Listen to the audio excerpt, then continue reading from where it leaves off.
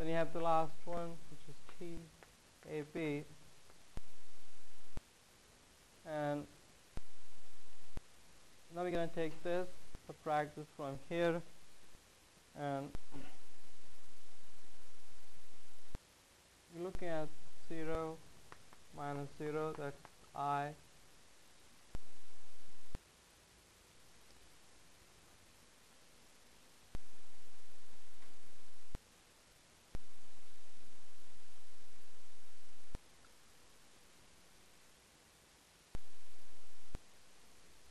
and then we're gonna have this uh, 0 minus 3 that will be j.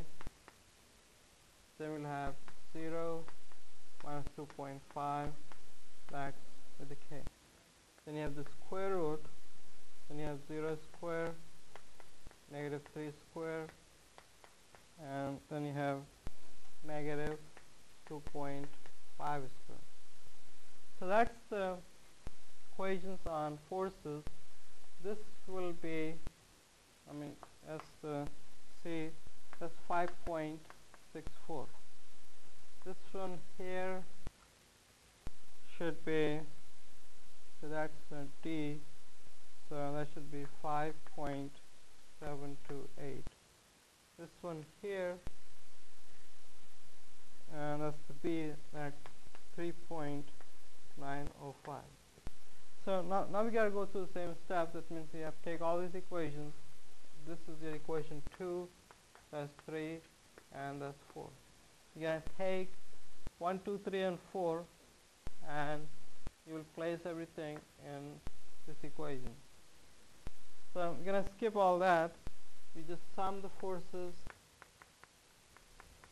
in the x. You're going to sum the forces in the y and we're going to sum the forces in the Z. Now if I do that, we get from here, we get 0.75 divided by 5.64 TAC. Then from here, we get negative 5 over 5.64 TAC then from here uh,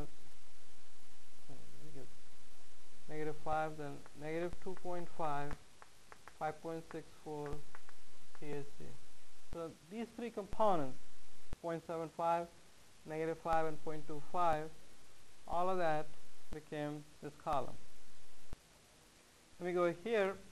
We have negative 1.25 TAB divided by 5.728 then you have negative 5 5.728 TAB and there is one more which is negative 2.5 5728 TAB so all three of these became this column.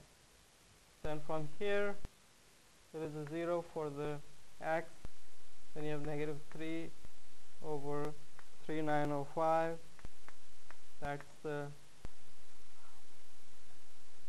so this should have been D, D and D. And now we're looking at the TAB and negative 2 over 3 905 TAB so that's just the forces broken up into components. There's one more force here and that's the W and that will show up in the Z as 4095 and this should go to 0 when it adds up.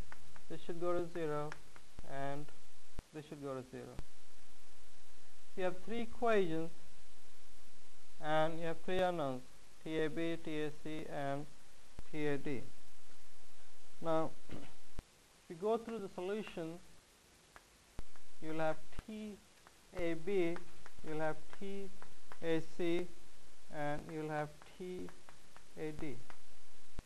This one comes out to be 6320 Newton. This one comes out to be 10400 Newton. this one comes out to be negative 19 to 0 0 Newton. So this is positive it goes to calculation. So that's tension. This is positive.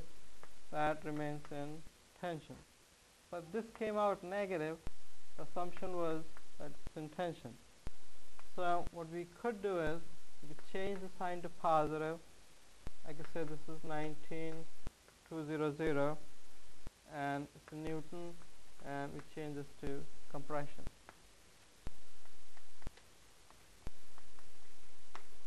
So instead of the force going like this, the force is going to be in it.